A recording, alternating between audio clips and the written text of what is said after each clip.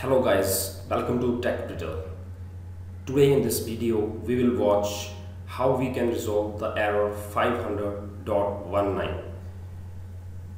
This error is caused when you are trying to host your website first time on IIS and your framework is not registered with IIS. So to resolve this particular error, you have to register your framework with IIS. So follow these steps to resolve error 500.19. First of all, open the command prompt.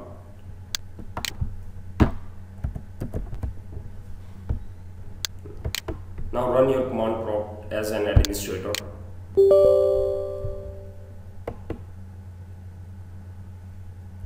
Now change your directory path to the folder where framework is installed.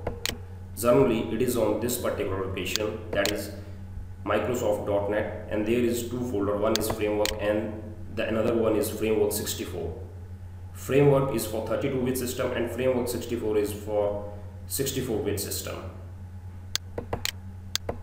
So you have to select the appropriate folder according to your machine setting. Then select the framework folder which you want to register here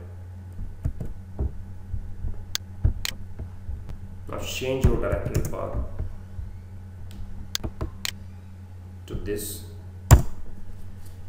To register framework type the command aspnet underscore regis hyphen i.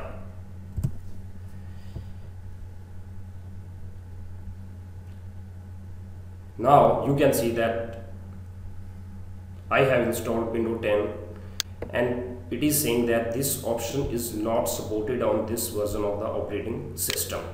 So if you do have Windows 10 and you are trying to host your website on IIS and you got 500.19 error then for Windows 10 you have to uh, install your framework by using this particular steps.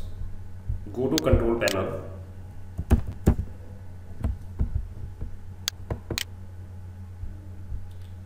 click on programs then select the option turn window feature on or off.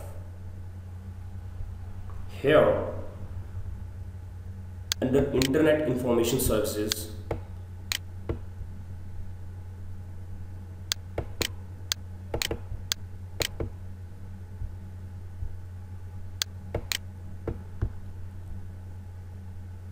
you have to expand this particular node. That is application development features. Now here you can see all the framework are listed here. So you can select the latest one and then click on ok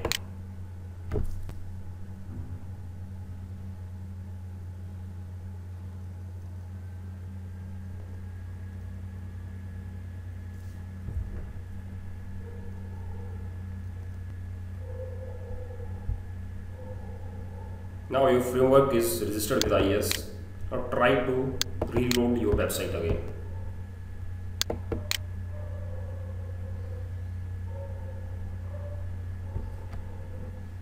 Now you can see your website is working fine with IIS so thanks for watching this video